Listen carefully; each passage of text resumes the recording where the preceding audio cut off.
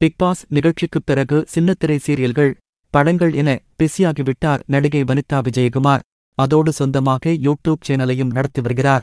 எப்போதும் சர்ச்சையில் சிக்குவதை வாடிக்கையாக கொண்டிருக்கும் வனிதா விஜயகுமார் இவருக்கு சில ஆண்டுகளுக்கு முன்பு பீட்டர் பால் என்பவருடன் மூணாவது திருமணம் நடைபெற்றது. ஆனால் அதில் எக்கச்சக்க குழப்பங்கள் நீடித்தது. பீட்டர் பாலின் முதல் மனைவி தன்னை விவாகரத்து செய்யாமலேயே வனிதாவை திருமணம் செய்து கொண்டதாக பரபரப்பை கிளப்பினார். ஆனாலும் பீட்டர்பால் மீதான காதலால் அவருடன் சேர்ந்து வாழ்ந்து வந்தார் வனிதா. இந்த திருமணம் ஒரு சில மாதங்களிலேயே முடிவுக்கு வந்தது. பின்னர் இருவரும் பிரிந்தனர். அதன் பிறகு சமீபத்தில் பீட்டர்பால் உடல்நலக்குறைவால் உடல்நலக் குறைவால் உயிரிழந்தார்.